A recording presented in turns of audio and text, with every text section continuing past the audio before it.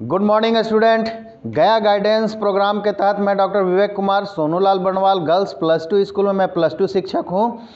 आज बच्चों, मैं ज्योग्राफी के नेक्स्ट चैप्टर के इंपॉर्टेंट पॉइंट और क्वेश्चन के विषय में आप लोगों को बताने जा रहा हूँ। ठीक है? आज का जो टॉपिक है भूमि संसाधन एवं जल संसाधन है। पिछले क्लास में मैंने बताया था संसाधन, मनुष्यों की आवश्यकता को जो पूर्ति करता है, उसे संसाधन कहते हैं। भूमि संसाधन हम यहाँ पहले लेते हैं बच्चों। तो भूमि संसाधन जो है, भारत के संदर्भ में देखेंगे तो करीब करीब बत्तीस दशमलव आठ लाख वर्ग स्क्वायर किलोमीटर में भूमि संसाधन भारत के कंटेस्ट में फैला हुआ है, ठीक है? तो उसका, जिसमें 43 परसेंट फोर्टी परसेंट मैदानी भाग है 30 प्रतिशत पर्वतीय भाग है और 27 प्रतिशत पठारी भाग हैं। यहाँ एक जानकारी मैं दे दूँ बच्चों कि ये जो निकाला गया है, भारत के 93 प्रतिशत भूमि के सर्वे के आधार पर निकाला गया है और 7 प्रतिशत जो है, वो पाकिस्तान और चीन के कब्ज़े में जो भूभाग है, उसका प्रतिशत नहीं निकाला गया है। ठीक है? इसके आधार पे हम लोग भारत के भूमि के जो मृदा संसाधन है, उसको छः भागों में विभाजित किए हुए हैं। ठीक है? ये छः भाग जो हैं, जलोढ़ मृदा, काली मृदा, लाल मृदा, लेटराइट मृदा रेगिस्तानी मृदा और पर्वतीय मृदा है। ठीक है? यहाँ पे बच्चों, मैं बता दूँ आप लोगों को कि आप लोगों के एग्ज़ाम के लिए बहुत ही महत्वपूर्ण है जलोढ़ मृदा एवं काली मृदा। ठीक है? जलोढ़ मृदा जलोढ़ मृदा किसे कहते हैं? ये एग्ज़ाम में पूछ सकता है। जलोढ़ मृदा के संदर्भ में जलोढ़ मृदा का पूर्ण रूप से विवरण दीजिए। तो जलोढ़ मृदा के विषय में लिखेंगे कि भारत की ब्रह्मपुत्रा, गंगा और सिंधु नदी और उनकी सहायक नदियों के द्वारा लाए गए मलबों के तहत, अवसादों के तहत जो मृदा का निर्माण हुआ है, उसे जलोढ़ मृदा कहते हैं। ठीक है? ये मृदा जलोढ़ मृदा भारत में मुख्य रूप से जो है, भारत के मैदानी प्रदेश ये आपको गुजरा ये पंजाब, हरियाणा, उत्तर प्रदेश, बिहार, पश्चिम बंगाल और आसाम में फैला हुआ है। ठीक है, यहाँ पे एक प्रश्न आता है बच्चों, अक्सर हाँ लघुतरीय प्रश्न आ जाए या ऑब्जेक्टिव में आ जाए कि भारत की जलोढ़ मृदा किन किन राज्यों में फैला हुआ है। ठीक है, आया है पिछले वर्ष और आने की भी पूर्ण संभावना है। ठीक है? जलोढ़ मृदा के विषय में देखते हैं। जलोढ़ मृदा की उम्र के आधार पे दो भागों में जलोढ़ मृदा को बांटे हैं। उम्र के आधार पे, यानी कि जलोढ़ मृदा का जैसे जैसे निर्माण हुआ तो जलोढ़ मृदा दो प्रकार के, बांगर मृदा और खादर मृदा।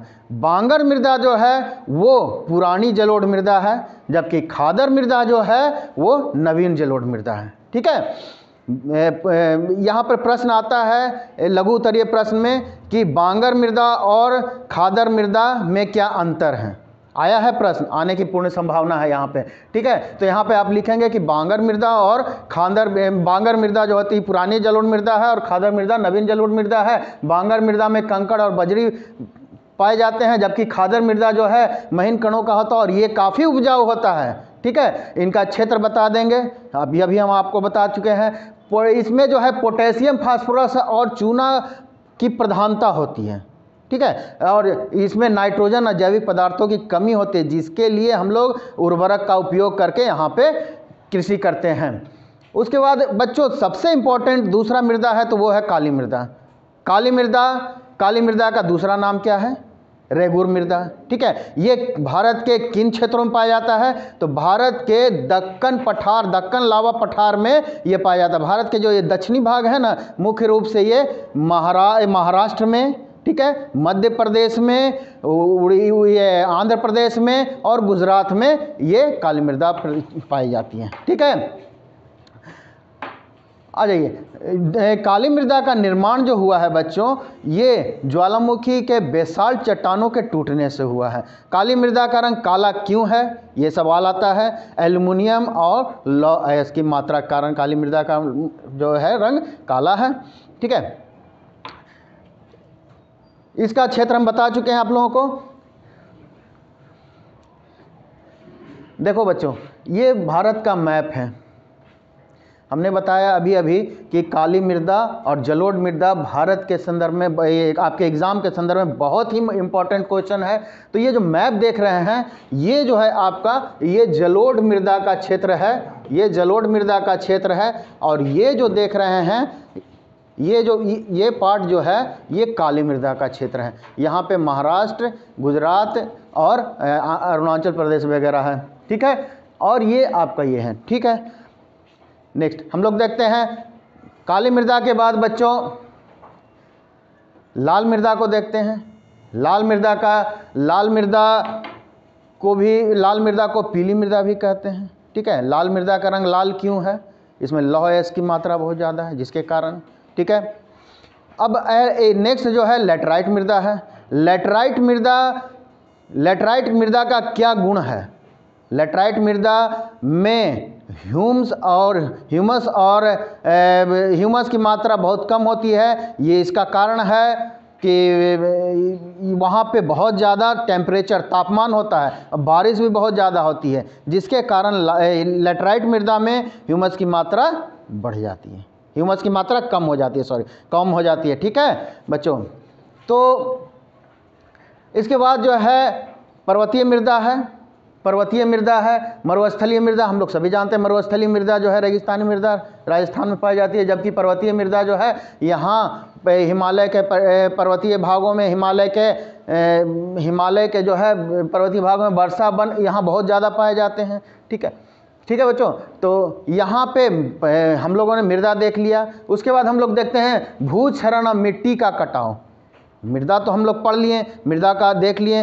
अब इसमें इसका जो है बहुत बड़ा डिमेरिट है कि मृदा का भूक्षरण बहुत तेज़ी से हो रहा है मृदा का, भारत के मृदा का कटाव बहुत तेज़ी से हो रहा है, ठीक है ना? तो भूचरण भूक्षरण ये देखना भूक्षरण जोग्राफिक शब्द है और भूमि का कटाव हम लोग सभी जानते हैं। तो यहाँ पे बच्चे थोड़ा सा कंफ्यूज हो जाते हैं, सर भूक्षरण क्या होता है? तो भूक्षरण मीन्स भू भू कटाव ही है, ठीक है?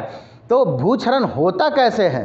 एग्ज़ाम में आपका भूचरण के विषय में लघु तरीय प्रश्न पूछ सकता है, पूछता है। तो भूचरण होता कैसे है? भूचरण का प्रमुख कारण है कि बहते हुए जल के कारण, ठीक है? जैसे नदी, प्रमुख कारण है वो। वो भूमि को काटता है, ठीक है? हवा, बहती हुई हवा के कारण भी ये आपको मृदा का क्षरण होता है।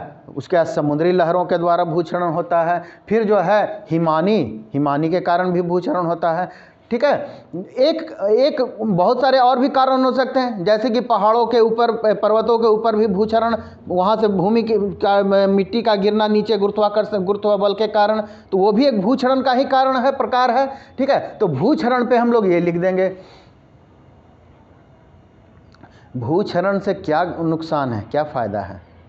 भूचरण से हमारी भूमि की उर्वरा शक्ति समाप्त होने लगती है। ठीक है? भूचरण से बहुत बड़ा डिमेरिट है कि भूचरण से हमारी भूमि की मृदा मृदा की जो है उर्वरा शक्ति समाप्त होने लगती। ये तो प्राकृतिक रूप से हो गया। मानव के कारण भी भूचरण हो रहा है। मानव के किस कार्य से भूचरण हो रहा है? मानव वन वनों को बहुत तेज़ी से काटे जा रहा है। जंगल, पेड़, पौधे हम लोग जानते हैं कि मिट्टी के कटाव को रोकता है। अब मनुष्य उसे काट रहा है। मनुष्य जानवरों के अति पशुचारण से भी भूचरण हो रहा है। खनन के कार्य से हो रहा है। रासायनिक उर्वरक का हम लोग कृषि में बहुत ज़्यादा उपयोग कर रहे हैं जिसके कारण भूमि का निम्नीकरण हो रहा है उसकी उर्वरा शक्ति समाप्त हो रही है। ठीक है? वहाँ भूचरण नहीं वहाँ पर निम्नीकरण हो रहा है। ए, एक प्रश्न अक्सर आता है बच्चों कि अति पशुचारण किन राज्यों में होता है? ठीक है? अति पशु चारण गुजरात, राजस्थान, मध्य प्रदेश और महाराष्ट्र में होता है। ये रट लो आप लोग। एग्ज़ाम में आज से आने की पूर्ण पूर्ण संभावना है। दूसरा क्वेश्चन आता है कि अधिक अधिक सिंचाई के कारण किन राज्यों में जो है भूषण हो भूमि का निम्नीकरण हो रहा है? वो है पंजाब, हरियाणा और पश्चिम उत्तर प्रदेश। ठीक है? पूरा उत्तर प्रदेश नहीं, उत्तर प्रदेश का पश्चिमी भाग। एग्ज़ाम में अक्सर आएगा कि आपको अधिक सिंचाई से कौन से राज्य में जो है भूमि का निम्नीकरण हो रहा है। ठीक है? एक प्रश्न और आ जा रहा है आजकल कि मृदा का पीएच मान सबसे उत्तम कौन सा होता है? तो मृदा का पीएच मान जो सबसे उत्तम होता है, वो सात होता है।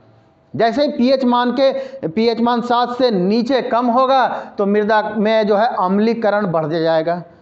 ठीक है? अम्लीयता मृदा का बढ़ जाएगा। और जैसे ही पीएच मान सात से बढ़ेगा तो मृदा में क्षारियता बढ़ जाएगा। ठीक है बच्चों? इसे भी आपको याद रखना है। ठीक है? इसे भी आपको याद रखना है। अब जो है मृदा का तो हम लोग उपयोग दोहन कर लिए, ठीक है? हर संसाधन का हम लोग दोहन कर रहे हैं। उसके उसके पीछे हमारी जनसंख्या बहुत बड़ी जिम्मेवार है। तो अब जो है भूगोल वेता पर्यावरणविद, क्या चाह रहे हैं कि मृदा का जो दोहन अति, अत्यधिक दोहन हो रहा है, उसकी संरक्षण हो जाए। तो मृदा के संरक्षण पे बहुत सारा काम हो रहा है। मृदा का संरक्षण कैसे होगा? उसका निम्नीकरण को बचाइए मृदा के निम्नीकरण को बचाइए। तो मृदा के निम्नीकरण को बचाने के लिए फ़सल चक्रण का कार्य सबसे ज़्यादा महत्वपूर्ण होता है। मृदा के निम्नीकरण को बचाने के लिए फ़सल चक्रण का कार्य सबसे महत्वपूर्ण है। क्या करते हैं किसान? हर साल गेहूँ, चावल आलू सब्ज़ी इत्यादि का उत्पादन कर लेते हैं और क्या हो रहा है? भूमि का जो उर्वरा शक्ति घटते जा रहा है। जब भूमि का उर्वरा शक्ति घट रहा है तो उसका उसमें उसमें आप दलहन और तिलहन का खेती कर दीजिएगा। दलहन और तिलहन का जैसे ही खेती करते हैं तो उसमें नाइट्रोजन का स्थिरीकरण हो जाता है और भूमि की उर्वरा शक्ति बढ़ जाती है। तो चक, फ़सल चक्रण से भूमि की उर्वरा शक्ति को बचाया जा सकता है। दूसरा है वृक्षारोपण। जो मनुष्यों ने वृक्षों को काट कर उस, काट दिया, उसे वृक्षारोपण फिर से करेगा तो भूमि का क्षरण वहाँ समाप्त हो जाएगा। उसके बाद भूपृष्ठीय जल अंडरग्राउंड वाटर जो है बच्चों, उसका लेवल बढ़ाना होगा। अंडरग्राउंड के वाटर के लेवल बढ़ने से भी मिट्टी के निम्नीकरण की निम्नीकरण जो है, वो कम हो जाती है। और सबसे महत्वपूर्ण बात जो एग्रीकल्चर में, भारतीय एग्रीकल्चर में बहुत तेज़ी से बढ़ा है, रासायनिक उर्वरक की प्रचलन। रासायनिक उर्वरक के प्रचलन को कम करके जैविक उर्वरक के प्रचलन को बढ़ाना होगा और बढ़ाया जा रहा है। ठीक है? क्या करते हैं किसान? एक किलो यूरिया के जगह पाँच किलो यूरिया डाल देते हैं या पाँच किलो की इसी तरह के रासायनिक उर्वरक को डाल देते हैं, अधिक से अधिक उत्पादन करना चाहते हैं। और उसी का उसी का नतीजा है कि भूमि का निम्नीकरण हो रहा है। और इस तरह का आज के ज़माने में इतने इतने खतरनाक खतरनाक रासायनिक केमिकल यूज़ हो रहे हैं कि हमारे इकोसिस्टम, पृथ्वी का इकोसिस्टम जो है, टूट रहा है। ठीक है? पृथ्वी का इको सिस्टम टूटने के कारण जो है बहुत सारे जीव जंतु माइक्रो ऑर्गेनिज्म मिट्टी के अंदर जो है वो समाप्त हो रहे हैं। जैसे कि जैसे कि मेढक मेढक का प्रजनन शक्ति समाप्त हो रही है। क्यों? क्योंकि एक एल्ड्रिन नाम का केमिकल होता है, जो रसायन खेतों में उपयोग किया जाता है। एल्ड्रिन नाम के केमिकल से मेढक की प्रजनन समाप्त हो रही है। मेढक क्या करते हैं? कीड़े मकोड़ों को खा जाते हैं, कीट फतंगों को खाते हैं और मेढक के मरने से, समाप्त होने से खेतों में कीट फतंगों का संख्या बढ़ते जा रहा है। और कीट फतंगे कीट फतंगे क्या कर रहे हैं? हमारे फ़सलों को खा रहे हैं। तो क्या हो रहा है यहाँ पे? यहाँ पे हो रहा है कि हमारे जो हमारे जो हैं, बहुत सारे जीव जंतु समाप्त होते जा रहे हैं। हमारा जो हरा भरा हरा भरा हरा भरा था माहौल प्राकृतिक इकोसिस्टम, वो सारा का सारा समाप्त हो जा रहा है। ठीक है? मृदा को मृदा क्षरण को बचाने के लिए सौपानिक कृषि भी कर सकते हैं। और किसान कर भी रहे हैं पठारी पर्वतीय क्षेत्रों में। ठीक है? ठीक है बच्चों, यहाँ तक समझने में कोई परेशानी नहीं है। अब हम लोग अब हम लोग नेक्स्ट जल संसाधन पर देखते हैं। ठीक है? जल संसाधन। किसी भी संसाधन को बच्चों, समाप्त करने में, उसका दोहन करने में हमारी जनसंख्या सबसे बड़ी जिम्मेवार है। जनसंख्या इतनी ज़्यादा भारत की बढ़ गई है हर एक जल संसाधन का हम लोग बहुत ज़्यादा दोहन कर रहे हैं। जल संसाधन तो बच्चों ऐसा संसाधन है जो हमें जीवन भी देता है और हमारा जीवन समाप्त भी करता है। प्राचीन काल की सभ्यता से लेकर आधुनिक काल की औद्योगिकरण तक जो है, नदी बेसिन के किनारे हुआ है। ठीक है? उसी तरह जीवन को समाप्त करने में बाढ़, सूखे का बहुत बड़ा प्रभाव रहा है।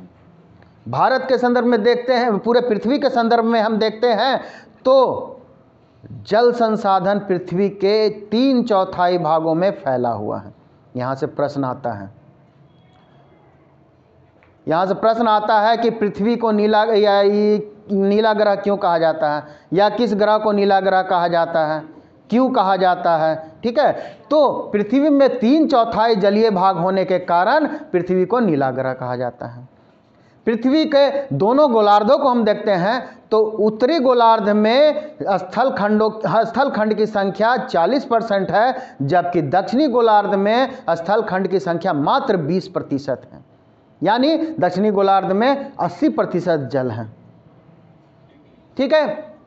तो इसे हम लोग दक्षिणी गोलार्ध को जलीय गोलार्ध भी कहते हैं। ठीक है? पृथ्वी पर जल का स्रोत क्या क्या है बच्चों? हम लोग जी रहे हैं, देख रहे हैं तो पृथ्वी पर जल का स्रोत मुख्य रूप से चार है। महासागरीय जल, वायुमंडलीय जल, भूपृष्ठीय जल और भूमिगत जल। भूपृष्ठीय जल और भूमिगत जल ही मनुष्य के उपयोग के लायक जल है, शुद्ध जल है, मीठा जल है, जिसका हम लोग उपयोग कर रहे हैं। ठीक है? तो जल स्रोत पूछ देते हैं। एग्ज़ाम में आपके आता है, आया है। जल स्रोत। मनुष्य का क्या है? हमारा जल स्रोत क्या है? ठीक है? तो हम यहाँ पर लिखेंगे, भूपृष्ठीय जल और भूमिगत जल ही हमारी मुख्य उपयोग की हमारी जल संसाधन का उपयोग, जल संसाधन का उपयोग हम लोग कैसे करते हैं? किस चीज़ में करते हैं? तो एग्ज़ाम में आता है, जल संसाधन का सबसे ज़्यादा उपयोग कहाँ हुआ? सिंचाई में।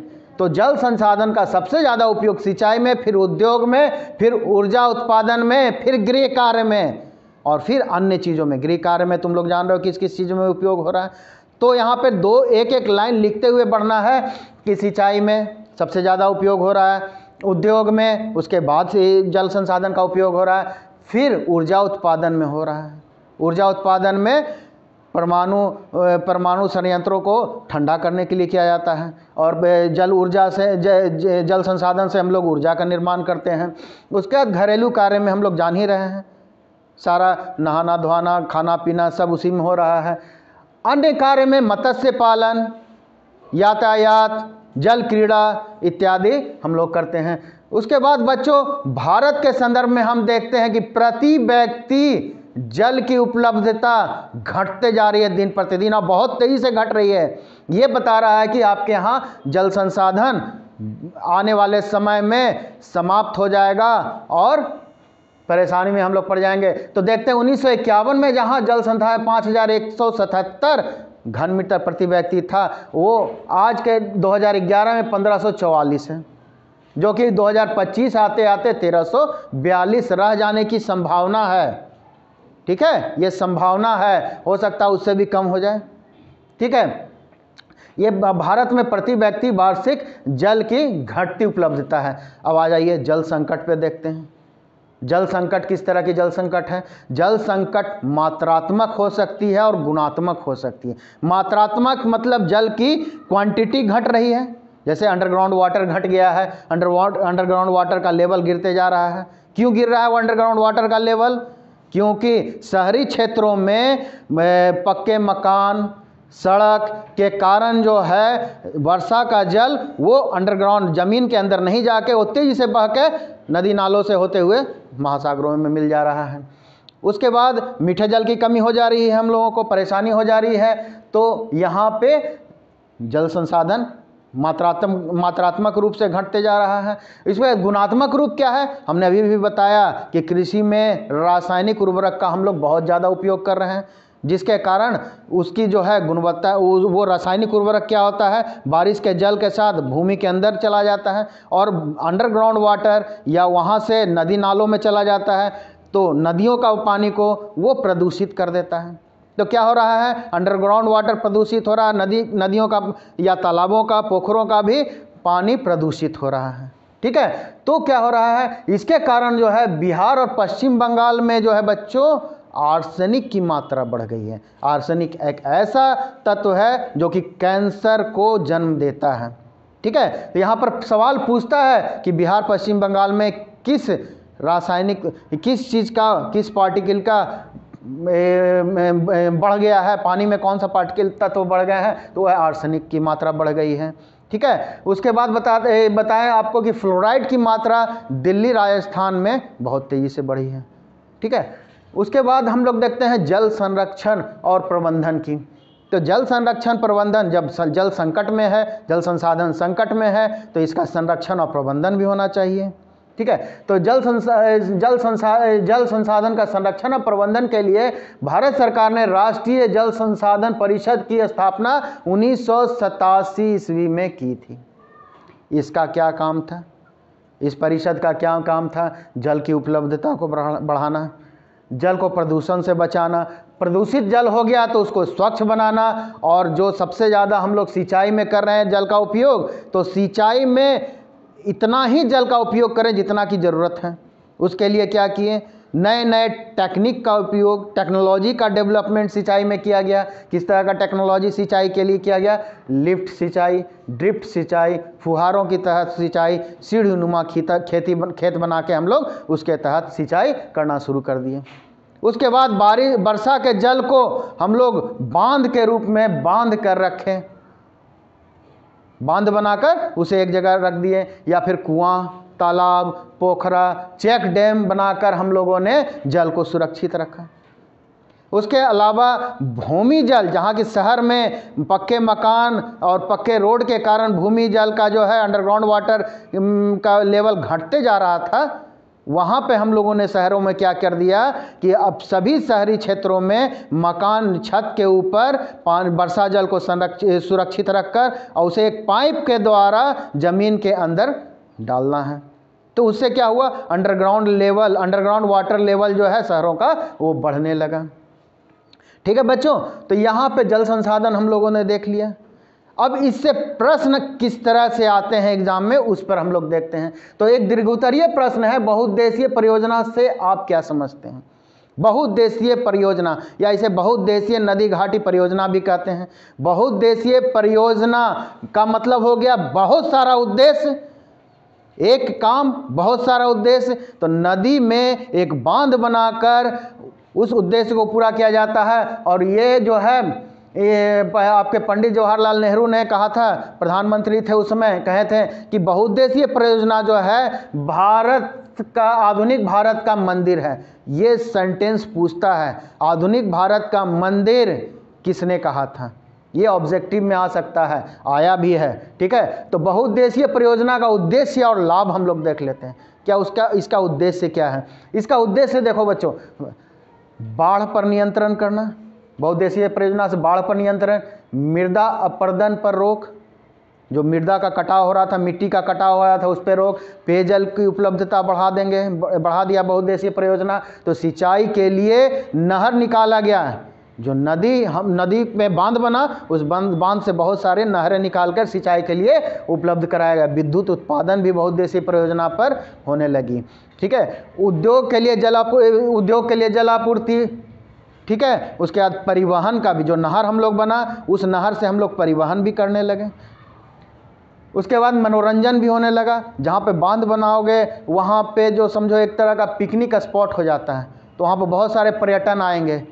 ठीक है पिकनिक का स्पॉट हो गया, बहुत सारे लोग आएँगे सुंदर एरिया हो जाता है वहाँ पे उस नदी में, उस नहर में मत्स्य पालन भी शुरू हो जाता है।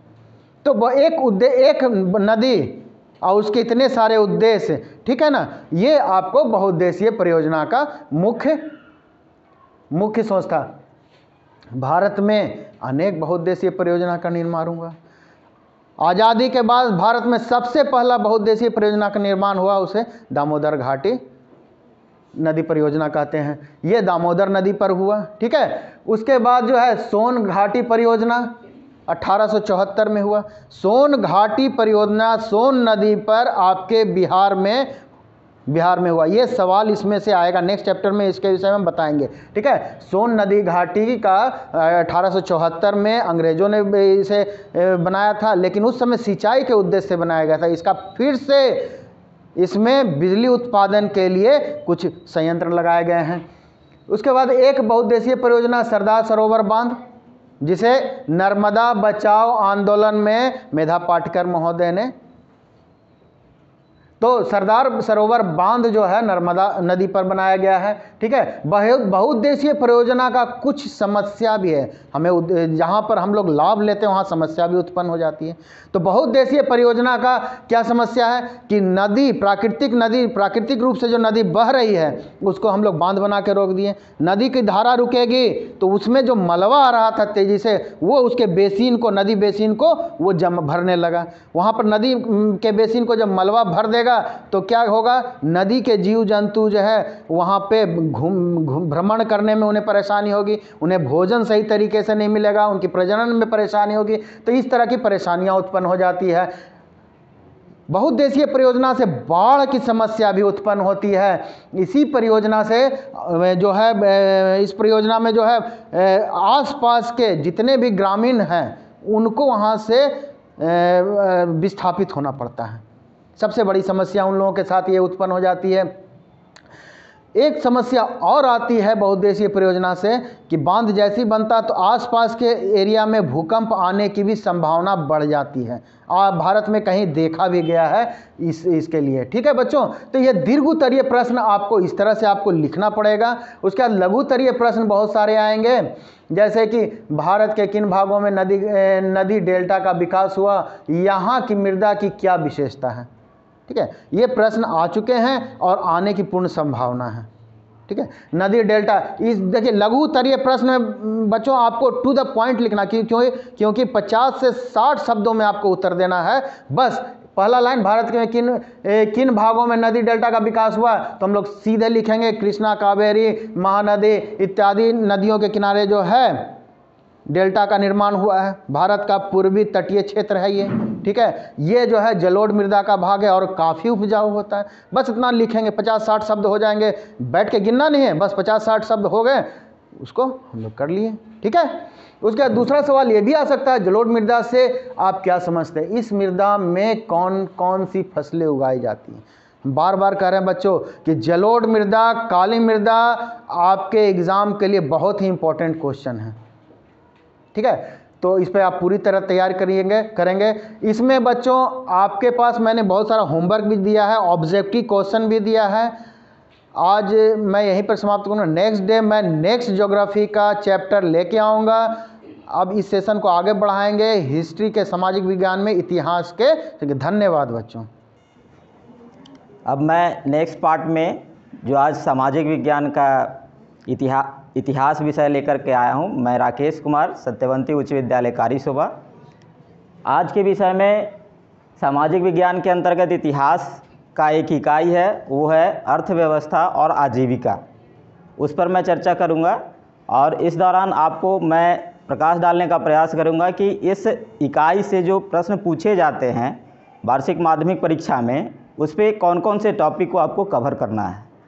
तो इसमें हम देखेंगे क्या कि इस इकाई के अंतर्गत जो केंद्र बिंदु अपनाया गया है, वो है आपका औद्योगिकरण।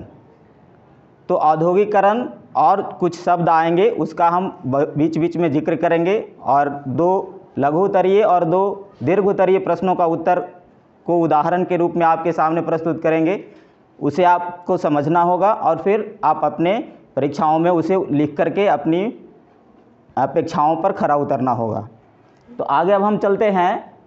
अर्थव्यवस्था क्या है? तो जैसा कि आप लोग जानते हैं कि अर्थव्यवस्था के अंतर्गत आर्थिक गतिविधियों का परिचालन होता है या आर्थिक गतिविधि उसमें प्रक्रियाएँ प्रारंभ होती है, उस व्यवस्था को हम अर्थव्यवस्था कहते हैं और उसी पर के ऊपर आजीविका निर्भर करती है। तो किसी भी राष्ट्र के लिए अर्थव्यवस्था का जो मुख्य धारा होता है, वो होता है आपका उद्योग और कृषि। जैसा कि आप लोग जानते हैं कि सर्वप्रथम इंग्लैंड में औद्योगिक क्रांति हुई और 1750 ईस्वी से पहले वहाँ 80 प्रतिशत जो अर्थव्यवस्था थी, वो कृषि पर आधारित थी, कुटीर उद्योग पर आधारित थी, लेकिन जब औद्योगिक क्रांति हुई, उसके बाद वहाँ पे औद्योगिकरण प्रारंभ हुए। औद्योगिकरण प्रारंभ होने के उपरांत वहाँ पे, वहाँ की जो आजीविका ही, आजीविका का जो व्यवस्था था, उस पर बहुत बड़ा प्रभाव पड़ा और फिर जा कर के वहाँ पर भी बहुत सारे संगठनों का निर्माण हुआ। अब हम चलते हैं मुख्य बिंदु पर कि इस चैप्टर के अंतर्गत कौन कौन से टॉपिक पे आपको प्रश्न पूछे जाते हैं। तो सबसे पहला है औद्योगिकरण। औद्योगिकरण उस प्रक्रिया को कहा जाता है, जिसमें कि वस्तुओं का उत्पादन मशीनों के द्वारा कारखानों में की जाती है और औद्योगिकरण प्रक्रिया के दौरान बहुत सारे उद्योग उत्पन्न हुए। उद्योगों की स्थिति में सुधार हुई और वस्तुओं का उत्पादन बहुत बड़े पैमाने पर कारखानों में होने लगी। औद्योगिकरण के कारण दूसरा पॉइंट बनते हैं, यह प्रश्न पूछे जाते हैं। उसके बाद औद्योगिकरण के परिणाम से संबंधित प्रश्न पूछे जाते हैं। उसके बाद आता है उपनिवेश। उपनिवेश से प्रश्न पूछे जाते हैं। आविष्कार और आविष्कारक से प्रश्न पूछे जाते हैं। उसके बाद पूछा जाता है आपको, भारत में जो उद्योग स्थापित हुए, कब हुए, कहाँ हुए, इसके बारे में पूछा जाता है। तो उसके बारे में अब आपको हम डिटेल आगे स्लाइड के माध्यम से भी दिखा सकते हैं। आप देखेंगे, सुनेंगे केवल, और जो लिखा हुआ चीज़ है, आपको डिस्क्रिप्शन बॉक्स में आपको मिल जाएगा। तो केवल आप सुने और ध्यान से सुनकर अपने जो क्षमता है, इस अध्याय के अंतर्गत जो प्रश्न पूछे जाएँगे, उसकी समझ आप अपने आप में विकसित करें। तो देखेंगे क्या? कि औद्योगिकरण के कारण कौन कौन से थे? तो अधिकरण के कारण में आप देखेंगे क्या? आवश्यकता आविष्कार की जननी कारण बनी नए नए मशीनों का आविष्कार कारण बना कोयले एवं लोहे की प्रचुरता थी, वह भी कारण बना। फैक्ट्री प्रणाली की शुरुआत हुई, वह भी कारण बना। सस्ते श्रम की उपलब्धता थी, जिसके कारण औद्योगिकरण अधिक तीव्र गति से विकसित हुए।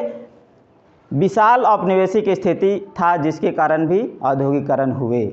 औद्योगिकरण के कारण वस्तुओं का निर्माण बहुत ही सरल और सहज तरीके से प्रारंभ हुआ। और लोगों की आवश्यकताओं को बहुत सरल और सहज तरीके से पूर्ति करने में वो सक्षम हुआ।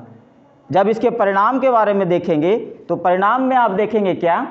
कि सबसे पहले नगरों का विकास हुआ। नगरों की विकास तीव्र गति से होना प्रारंभ हो गया। कुटीर उद्योग का समापन हुआ, पतन हो गया, जिससे कि बहुत सारे लोगों की रोजी रोटी छिन गई और आजीविका बहुत प्रभावित हुई। तीसरा जो परिणाम निकल कर के सामने आए, साम्राज्यवाद की स्थिति उत्पन्न हो गई। सभी अपने अपने उपनिवेश स्थापित करने की होड़ मचाने लगे। समाज में वर्ग विभाजन और एक बुर्जुआ वर्ग का उदय हुआ।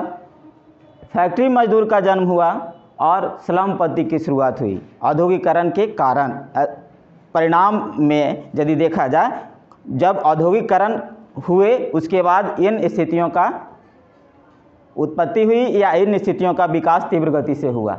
अब एक प्रश्न पूछा जाता है उपनिवेश से कि उपनिवेशवाद क्या है या उपनिवेशवाद से आप क्या समझते हैं? तो उपनिवेशवाद से आप क्या समझते हैं, मैं आप लोग वर्णन करेंगे कि औद्योगिक क्रांति के बाद जब वस्तुओं का उत्पादन अधिक होने लगा, बहुत बड़े पैमाने पर होने लगा तो उन्हें बाज़ार की आवश्यकता पड़ी।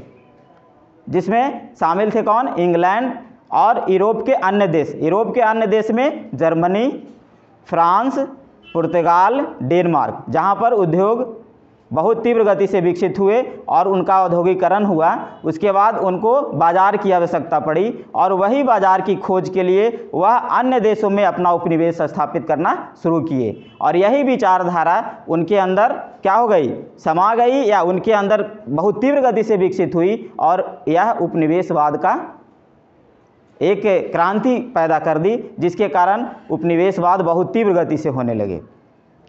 तो उपनिवेशवाद के अंतर्गत यह चर्चा करेंगे और उसका आंसर देंगे। अब आ गया क्या कि हम लोग बोले थे आविष्कार से संबंधित और किसने, कौन से मशीन का आविष्कार किया, यह भी प्रश्न पूछा जाता है ऑब्जेक्टिव में और इस चैप्टर से एक या दो प्रश्न निश्चित रूप से होते हैं। दो से तीन भी हो सकते हैं, क्योंकि यहाँ डेट से संबंधित प्रश्न पूछे जाते हैं और वो एक होता है आविष्कार से संबंधित और एक होता है भारत में स्थापित या स्थापित करने वाले लोगों से संबंधित। तो यहाँ जब देखेंगे तो सर्वप्रथम सत्रह सौ उनहत्तर ईस्वी में रिचार्ड आर्कराइट ने स्पिनिंग फ्रेम, एक मशीन है जो कि जलवाष्प पे चल, चलता है, वह सूती वस्त्र या वस्त्र के निर्माण में उसका उपयोग होता है, उसने आविष्कार किया स्पिनिंग फ्रेम का। 1770 में जेम्स हारग्रीव्स ने स्पिनिंग जेनी का उपयोग किया ये पिछले साल परीक्षा में पूछा जा चुका है कि स्पिनिंग जेन, जेनी का, स्पिनिंग जेनी का आविष्कार किसने किया? तो जेम्स हारग्रीव्स ने किया और कब किया? 1970 ईस्वी में किया। अब देखेंगे, सत्रह सौ तिहत्तर ईस्वी में, सत्रह सत्रह सौ तिहत्तर ईस्वी में फ्लाइंग शटल का आविष्कार हुआ और इसके आविष्कारक थे जॉन के। समझ गए? और उसी तरह से सत्रह सौ उनासी ईस्वी में सैमुअल क्रम्पटन ने स्पिनिंग म्यूल का, स्पिनिंग म्यूल का आविष्कार किया और यह बहुत तीव्र गति से सूत काटने का मशीन था। सत्रह सौ नवासी ईस्वी में सैमुअल क्रैम्पटन ने आविष्कार किया और सत्रह सौ पचासी में एडमंड कार्टराइट ने एक बहुत ही ब्लूम पावर ब्लूम करके एक अब मशीन का आविष्कार किया, जो कि बहुत ही सूत काटने वाले लोगों के लिए वरदान सिद्ध हुआ। जिसको करघा पावर लूम करके करघा का आविष्कार किया, जिससे कि जुलाहा जो कपड़ा बुनते थे, उनके लिए बहुत सहूलियत हो गई और वो आसानी तरीके से कपड़ा बुनने में सफल हुए। इस तरह से एक और क्रांतिकारी आविष्कार हुआ, वो हुआ कपड़े की छपाई का। बेनर ने, सत्रह सौ पचासी ईस्वी में ही बेनर ने कपड़े छपाई की, आविष्कार की। और सत्रह सौ पचासी में ही टॉमस बेल ने बेलनाकार छपाई का आविष्कार किया। तो यह आविष्कार जो कपड़े सादे आते थे पहले, वस्त्र बुन करके, उसमें अब छपाई होने लगे, जिसकी गुणवत्ता और उसकी जो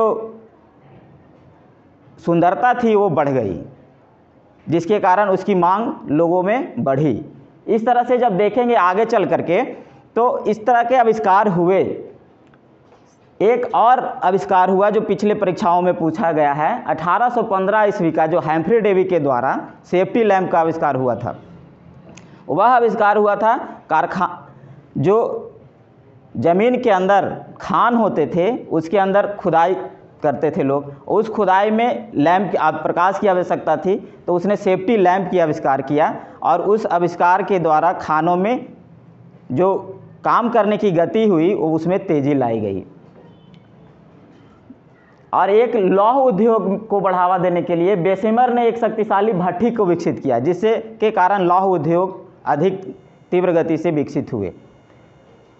इसके बाद जब आप आएँगे भारत में तो भारत में जब चर्चा करेंगे तो भारत में सर्वप्रथम वस्त्र मिल का स्थापना या जो कपड़े की मिल थी, उसकी स्थापना कब की गई? यह भी प्रश्न पूछा गया है।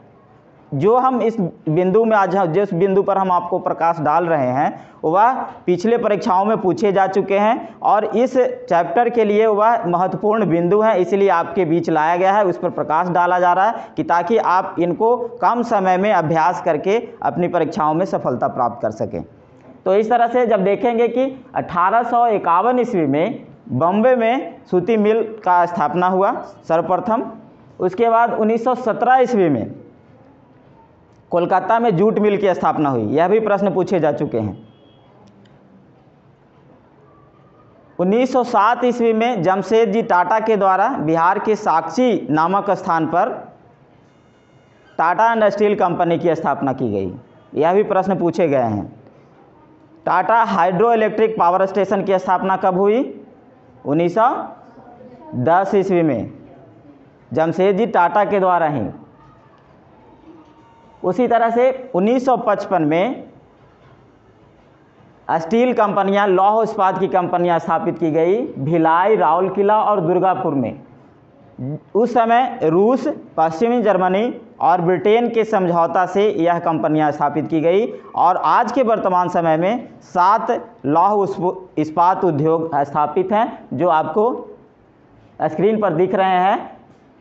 Indian iron and steel company Hirapur Tata iron and steel company Jagdishpur Visvesvaraya iron and steel company Bhadravati Karnataka Durgapur steel company steel plant Durgapur Bhilai steel plant Bhilai Bokaro steel plant Bokaro ये इससे भी प्रश्न पूछे जाते हैं कि भारत में इस्पात कंपनी का नाम लिखें। लौह एनब इस्पात कंपनी का नाम लिखें तो उसमें भी आता है, लेकिन यह ज़्यादा इंपॉर्टेंट नहीं है, आपको ज्ञान के लिए इसमें केवल बता दिया गया है।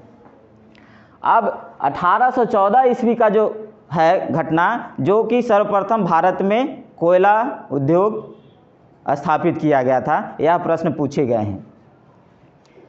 उसके बाद देखेंगे, भारत में अठारह सौ पंचानवे में जो बैंक की भूमिका रही, उद्योग को स्थापित करने में, आर्थिक जो गतिविधियाँ थी, उसको वो संचालित करने में अहम भूमिका निभाई, जिसमें कि कभी कभी प्रश्न पूछे जाते हैं कि बैंक की स्थापना कब हुई।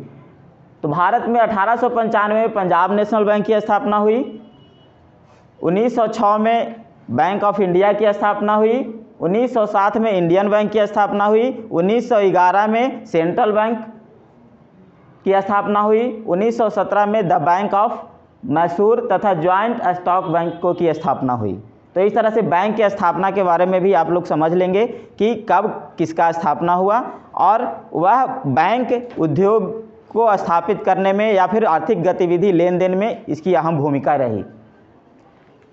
अब इसी तरह से देखेंगे कि यह क्वेश्चन पूछा जा चुका है कि 1918 ईस्वी में इंग्लैंड के सभी स्त्री पुरुष जो वयस्क थे जो नागरिक बन चुके थे, उनको मताधिकार का अधिकार दिया गया। यह प्रश्न पिछले एग्ज़ाम में पूछा जा चुका है कि इंग्लैंड में स्त्री और पुरुषों का मताधिकार देने का कब अधिकार प्राप्त हुआ? तो वह है 1918 में। उसी तरह से भारत में पहला फैक्ट्री एक्ट कब लागू हुआ? अठारह सौ इक्यासी ईस्वी में। और भारत अखिल भारतीय ट्रेड यूनियन कांग्रेस की स्थापना कब हुई? तो 31 अक्टूबर 1920 ईस्वी को, जिसके प्रथम अध्यक्ष के रूप में लाला लाजपत राय बनाए गए। और उसी तरह से अंतर्राष्ट्रीय श्रमिक संगठन की स्थापना हुई, वह भी 1920 ईस्वी में। इसके बाद जब हम देखेंगे हम लोग तो उन्नीस जब आज़ादी मिली, उसके बाद अखिल भारतीय ट्रेड यूनियन तीन भागों में विभक्त हो गया। उसका भी फुल फॉर्म पूछा जाता है। कि Indian national trade union congress Hind Mazdoor Sangh और यूनाइटेड ट्रेड यूनियन कांग्रेस तीन भागों में विभक्त हुआ। यह भी पूछा जाता है। कभी कभी क्वेश्चन पूछा जाता है, इसलिए मैं आपको इसमें ले आया हूँ। उसके बाद है, एक क्वेश्चन पूछा जाता है, न्यूनतम मजदूरी कानून कब पारित हुआ? 1948 में। और सरकार द्वारा श्रम आयोग का गठन कब हुआ? उन्नीस सौ बासठ ईस्वी में। तो इस तरह से जब आप देखेंगे, एक क्वेश्चन और जो आता है फुल फॉर्म के रूप में। पूछा जाता है कि इसका फुल फॉर्म बताइए। तो इसमें आता है ए आई टी यू सी तो all India trade union congress एक आता है आई एल ओ का फुल फॉर्म जिसका होता है इंटरनेशनल लेबर ऑर्गेनाइजेशन अंतर्राष्ट्रीय श्रमिक संगठन। और तीसरा आता है इंटक का Indian national trade union congress यह भारत में, अभी वर्तमान भारत में भी यह स्थापित है।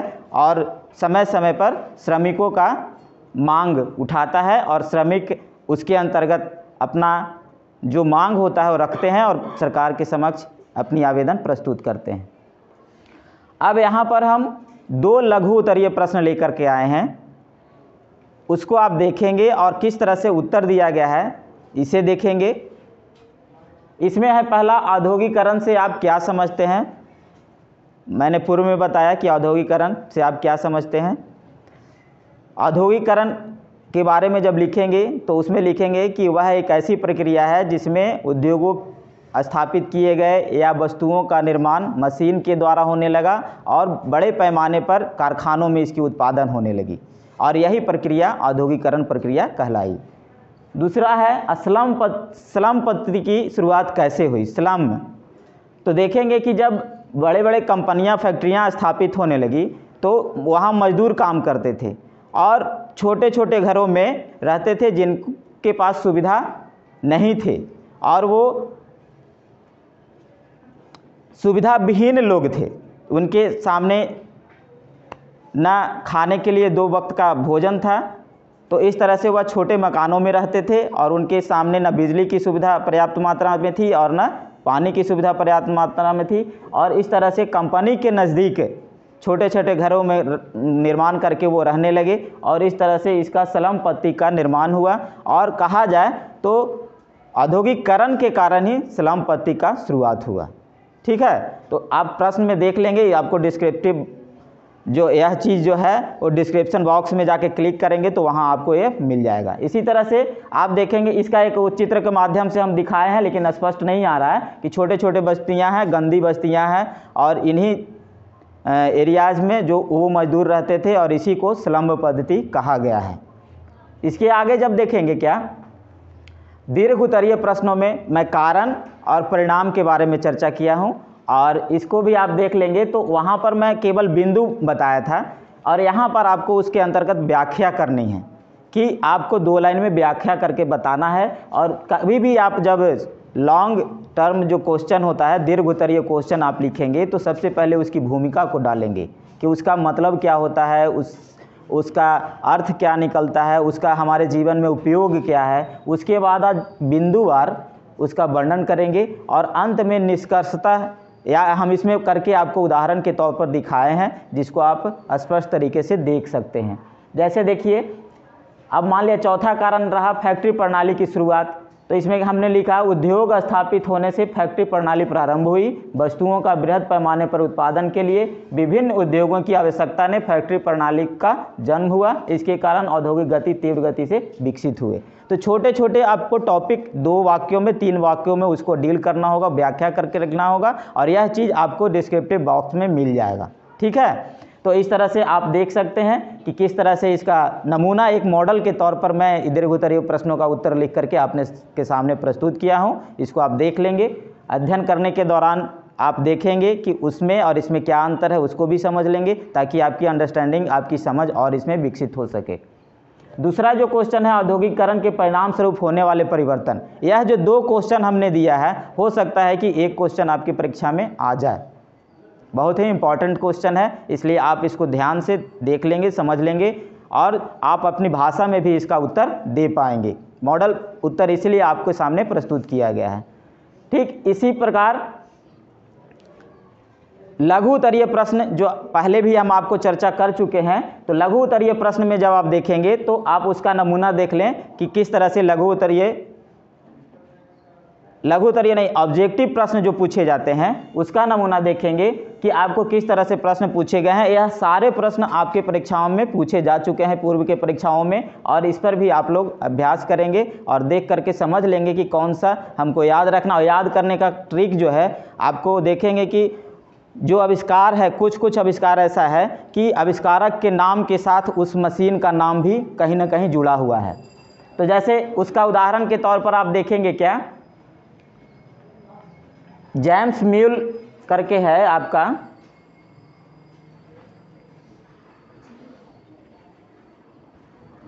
अभी जो चर्चा चल रही थी, इंग्लैंड में स्त्री एवं पुरुषों का व्यस्क मताधिकार का प्रयोग कब प्राप्त हुआ? तो यह 1918 ईस्वी में यह प्रश्न पूछा जा चुका है। जमशेद जी टाटा के द्वारा आयरन एंड स्टील कंपनी की स्थापना कब हुई? उन्नीस सात ईस्वी में। तो इस तरह से आप लोग इसका अभ्यास करेंगे और समझ लेंगे।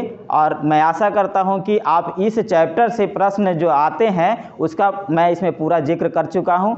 और इसके अंतर्गत जो प्रश्न आते हैं, सभी प्रश्नों को मैं यहाँ पर रखने का प्रयास किया हूँ। और इसी तरह से मैं आपकी शुभकामना के साथ आपको बहुत सारी शुभकामनाएँ।